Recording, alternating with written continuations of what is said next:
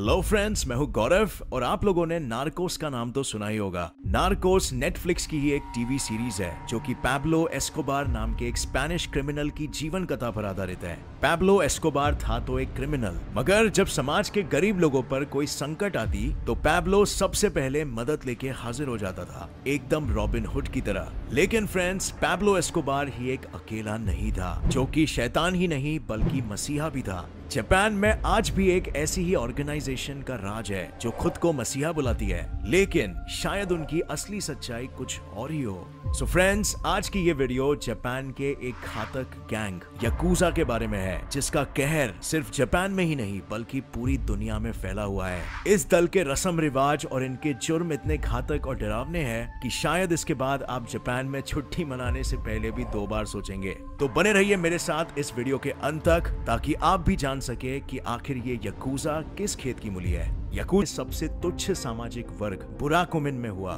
बुराकुमिन वर्ग के लोगों का समाज में जैसे कोई महत्व या कोई अस्तित्व ही नहीं था। इन लोगों को सरकार तक जॉब या मदद देने से पीछे हटती थी और इन लोगों के पास रहने खाने का ठिकाना भी नहीं रहता था। इस गरीबी और लाचारी के कारण बुराकुमिन वर्ग के लोगों को चोरी चकारी और गैम्बलिंग यानी जुआ खेलने का सहारा लेना पड़ा।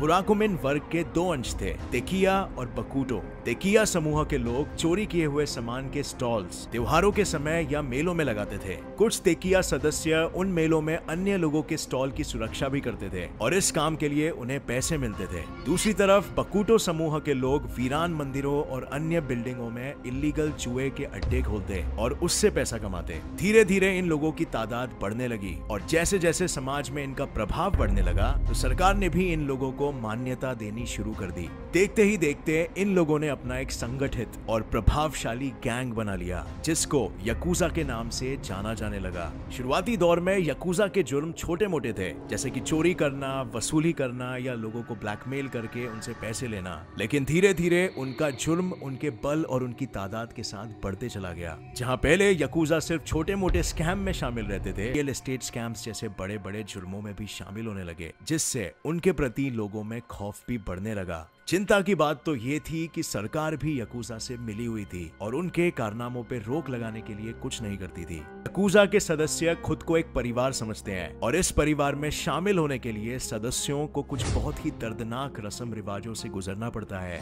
हर नए सदस्य को कोबून, यानी बच्चे का टैग मिलता है और उस सदस्य के बॉस को ओयाबून, यानी आश्रय देने वाला बोला जाता है। जब किसी सदस्य का दीक्षा संस्कार, यानी इनिशिएशन होता है तो उसको अपने ओयाबून के साथ साथ बैठकर एक जापानी मदिरा साकी पीनी होती है। हर ओयाबून अपने नए कोबून को एक मिट्टी के ग्लास में बहुत थोड़ी सी साकी सर्व करता है और अपने खुद के ग्लास को ऊपर तक साकी से भरता है। ग्लास में साकी की अधिक मात्रा उसके ऊँचे पद यानी पोजीशन का प्रतीक होता है। एक बार दोनों साथ में ये साकी पी लेते हैं तो वो कोबून ऑफिशियली यकूजा का सदस्य बन जाता है। यकूजा के सदस्यों को सचमुच एक सदस्य बनने के लिए अपने पूरे शरीर पर टैटू बनवानी पड़ती है। इन खास टैटूज को इरेजुमी के नाम से जाना जाता है। और ये टैटू बनाने की प्रक्रिया काफ़ी दर्दनाक होती है, क्योंकि इसमें मशीनों का इस्तेमाल नहीं होता, बल्कि एक बाँस की सुई का इस्तेमाल होता है, जिसमें इंक लगा के हाथ से टैटू बनाया जाता है। यही नहीं, यकूजा का एक और रिवाज है कि अगर किसी कुबून ने कुछ ऐसा करा हो, जिससे उसके ओयाबून को परेशानी हुई,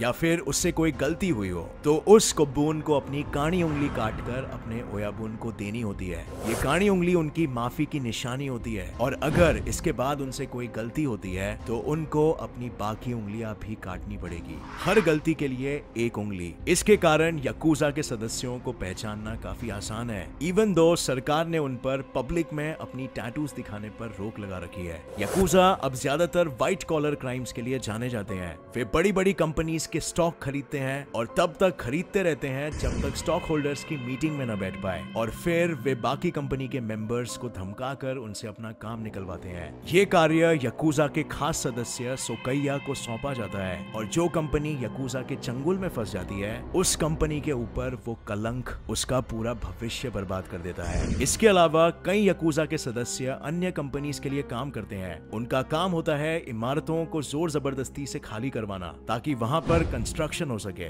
यही नहीं, जापान में मेजोरिटी ट्रैफिकिंग के केस के जिम्मेदार भी यकूजा ही होते हैं। और इन जुर्मों की शिकार सिर्फ़ जापानी लड़कियाँ नहीं, बल्कि अन्य देश की लड़कियाँ जैसे यूनाइटेड स्टेट लड़कियाँ भी बनती है। यकूजा के सदस्य दूर देशों से मासूम व खूबसूरत लड़कियों को नौकरी का लालच देकर जापान लेके आते हैं। और जब लड़कियों को पता चलता है कि उन्हें किस काम के लिए लाया गया है तो उनके आसपास न पैसे होते हैं और न रहने का ठिकाना, जिस वजह से उन्हें अपने यकूजा बॉस के लिए वैश्य बनना पड़ता है। लेकिन सबसे ज़्यादा पैसा और मुनाफा यकूजा को उनके ड्रग्स के कारोबार से मिलता है। हर वो इलीगल ड्रग चाहे वो केमिकल हो या नेचुरल जिसका भी नाम आप जानते हो, उनका राष्ट्रीय और अंतर्राष्ट्रीय स्तर पर कारोबार यकूजा करता है। जापान में आज यकूजा के चार समूह है, यामागुची गुमी, सुमियोशी काय इनागावा काय और एजुकुतेत्सु काय हर समूह एक समूह नहीं, बल्कि परिवार की तरह व्यवहार करता है और इन समूहों के भी करते हैं। अब फ्रेंड्स ये सब सुनने के बाद आप ये सोच रहे होंगे कि ये लोग आखिर मसीहा कैसे हुए